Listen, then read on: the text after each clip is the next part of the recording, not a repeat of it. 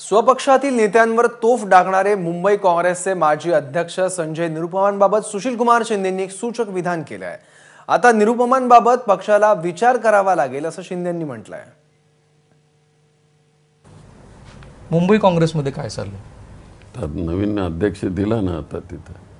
पण खदखद आहे. संजय निरुपम जाहीर प्रेस कॉन्फरन्स घेत आहे ते आता ते असं आहे प्रत्येकानं आपले कॅन्डिडेट मिळाले नाही म्हणजे त्या कॅन्डिडेटच्या मिळा न मिळण्याच्या अगोदर का बोलले नाही हे?